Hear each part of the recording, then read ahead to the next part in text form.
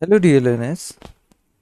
In this lecture we will discuss about the histone proteins, how they interact with the DNA, what are the different types of modifications that takes place upon the histone proteins and how this modification alters or regulates the expression of the DNA. Histones Histones are a group of basic proteins. Basic protein means which are rich in basic amino acids. So histones they are a group of basic proteins that associate with DNA. DNA being negatively charged, it has a strong association or it has higher affinity for as uh, basic proteins or basic amino acids. So obviously histones which are made up of basic proteins they readily interact with the DNA. So these histone proteins they help the DNA to condense into a chromatin structure.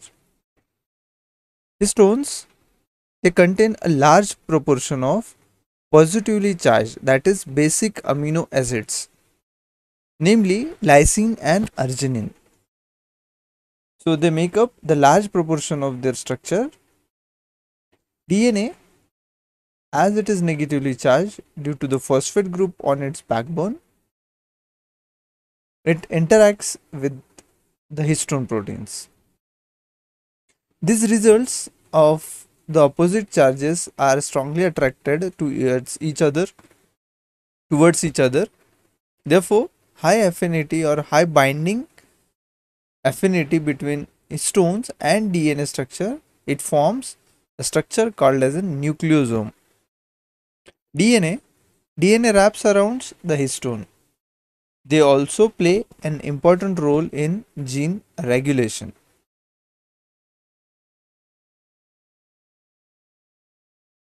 The basic unit of chromatin is nucleosome. So nucleosome it is a bead on a string like structure.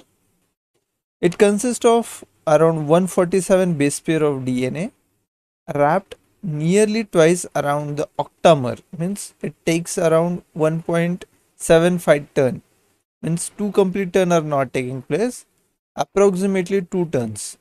So 1.75 turn uh, it takes place on an histone octamer. Octamer means eight proteins which are made up of different four proteins h2a h2b h3 and h4 so h uh, these four proteins they are present in the dimer. They form the structure called as an octamer. Each nucleosome is separated by 10 to 60 it depends upon the condition and type of cell. So each nucleosome they are separated by 1 10 to 60 base pairs of linker dna and the resulting nucleosomal array it constitutes the chromosomal fiber of around 10 nanometer in diameter so we are pretty familiar with this particular structure, the genome organization. We know in case with eukaryotic cell, this DNA is present in the form of chromosome. But how does that this particular structure is formed? It st will start with the DNA, which is double helix DNA, the model given by Watson and Crick.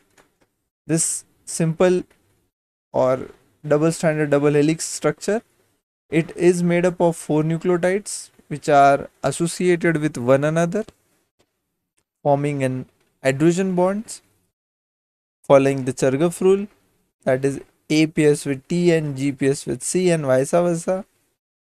This structure further it gets condensed and it forms the nucleosome structure. Here this violet color structure they are the octamer which come which consist of the four proteins, the four histone proteins H2A, H2B, H3, H4 and these proteins they are present in dimer. So it forms a structure called as an octamer. And this coil structure is the DNA which is which starts its coiling from here. It completes its first turn and before completing the second turn it is transferred or it is taken up in the another histone protein. So this particular structure which connects the two histones they are called as an linker DNA. this particular structure which holds this DNA on this structure, we call it as an H1 protein. H1 protein is mainly interacting with the linker DNA and makes that DNA to interact with the nucleosome structure, uh, interact with the histone octamer. So this nucleosome structure is also known as bead on a string like structure. This structure is not the ultimate structure. This structure is further condensed and it forms a nucleosome. Uh, it forms a solenoid structure where the chromosome is further condensed and it forms a coiled structure. So this particular coiled structure it acquires a larger diameter. So starting from 2 nanometer in double helix structure in nucleosome it forms around 11 nanometer structure while it, which get further coiled and it forms a 30 nanometer structure. This structure is further coiled and it forms zigzag structure or solenoid structure which further forms 300 nanometer diameter structure which is further condensed and this is the seventh level of condensation which forms the structure which we can call it as a chromosome structure so which makes up around 100 1400 nanometer diameter. So this much structure uh, this is how the dna is compacted or it is associated with the proteins histone proteins and other proteins and it forms a structure which we call it as a chromosome structure. Types of histones as we have discussed histones they are group of proteins. Histone proteins are of two types. One is the core protein or core, core histones which made which are made up of h2a h2b h3 and h4 and non-core histone they are the linker histones which are interacting more with the linker dna they are called as a linker histones so h1 is a linker histone the eight histones in the core are arranged into H2A, H2B, H3, H4. And the dimer of this, it forms a 4 protein and the dimer of 4 protein, it forms an octamer. So the tetramer and dimer come together to form a left-handed superhelix ramp around which the DNA is wrapped. Here we can see this H3H4 and this H2A, H2B, they interact with one another and they form this particular structure upon which the DNA is coiled or it is wrapped. Hydrogen bonds between the DNA backbone and the amide group on the main chain of histone, it forms this type of association. H1 Histone H1 is not part of the nucleosome core particle. Instead, it binds to the linker DNA and is referred to as an linker histone. H1 is half as abundant to the other histones which consist of which is consistent with the finding that only one molecule of H1 can associate associate with one nucleosome. H2A since H2A packages DNA molecules into chromatin, the packaging process will affect the gene expression. It refers to a variety of closely related proteins that vary often by only a few amino acids. That is, these are evolutionarily conserved proteins. H2A plays important role or major role in determining the overall structure of a chromatin.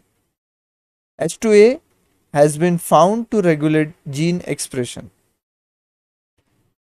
H2B H2B are is also involved in the structure of nucleosome of the bead on a string like structure.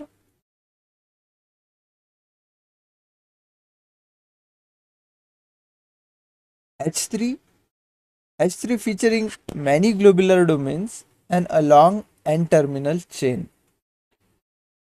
They are also important protein in emerging field of epigenetics where its sequence variants and variable modification states are thought to play important role in the dynamic and long-term regulation of the genes.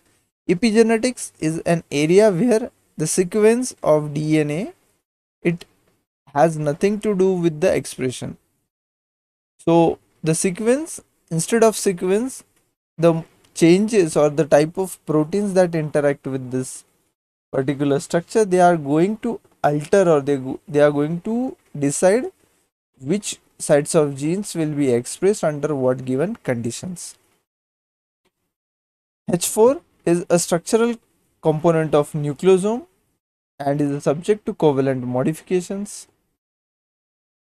The major modification we will discuss in coming slide that is acetylation, methylation which may alter the expression of genes located on the DNA associated with its parent histone octamer. Amongst the four H1, H2A, H2B, H3, H4, H3 and H4 are the evolutionarily conserved proteins. That means these are the proteins if you compare amongst the uh, most of the diverse group of organisms, we will find pretty similarity in their sequence. So here we, in this table also we can see H3 and H4 the number of amino acids they are fixed around 135 and H4 102 and they consist of lysine arginine 10% of lysine and 15% of arginine. H4 11% of lysine and 4% of arginine.